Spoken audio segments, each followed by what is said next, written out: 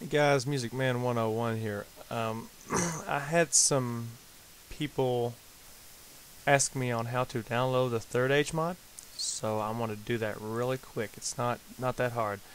Um, you go to the website. Well, I will I will put a link in the description, and then you you can see the pictures and all the good stuff that comes with it.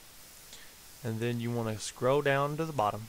Now here's your install links. Okay. You want to download part one. There's two parts to the download. You want to go. You can go ahead and download all of them, and you'll have to do a 3.1 patch also. So you can just click that, download it, click that and download it, click that and download it. You can download them all at the same time. However, when you download them, you want to click part one first and install it. And then you want to install it to it should automatically do it give you the option but you want to go to program files. You want to go to Sega and Medieval Total War. It should automatically pick that for you so okay. So once you install part 1 and you install part 2 and put it in the same directory and then put it and install the third 3.1 patch. Okay. After that, you're about ready to go. Now, it'll here's the differences though. If you're using the disc, uh, the gold edition disc, it's going to be a little different. So when you install, when you download, you install it uh, you just take it to your Sega folder like I showed you and that should be it. However if you are using Steam it's going to be a little different.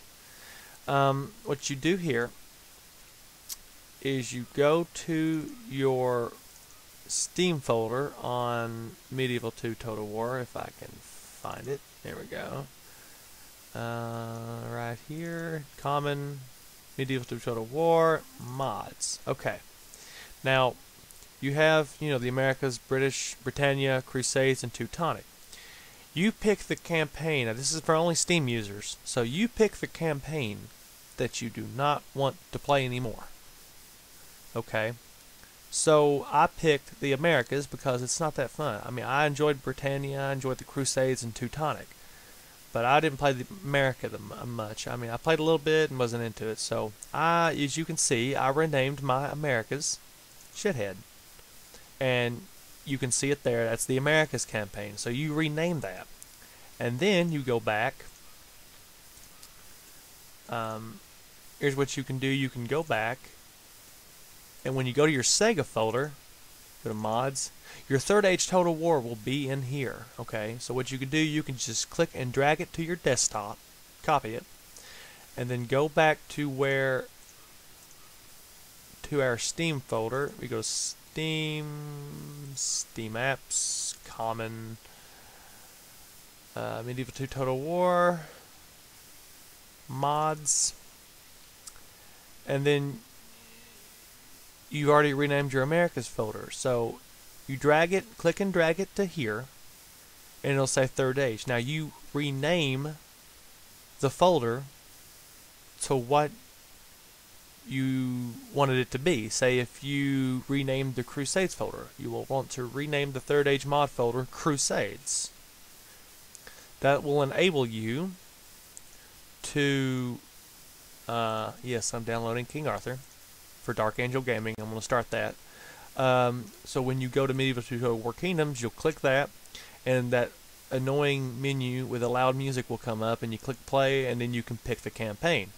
That's how you will go to the third age. If you're not using Steam and you're using the disc, all you have to do is just keep it in your Sega folder, and it'll have a desktop shortcut to the third age, and you should be fine there. So, uh, yeah, it's a little different from disc users than Steam users. So, I tried to cover uh, each of them. So, for those of you who your Steam, you have to do a little extra, uh, renaming folders and everything. So I think that this is, um, I think that's all there is to talk about. Uh, check out Dark Angel Gaming. I'm going to be starting a King Arthur uh, role playing war game uh, parts on there.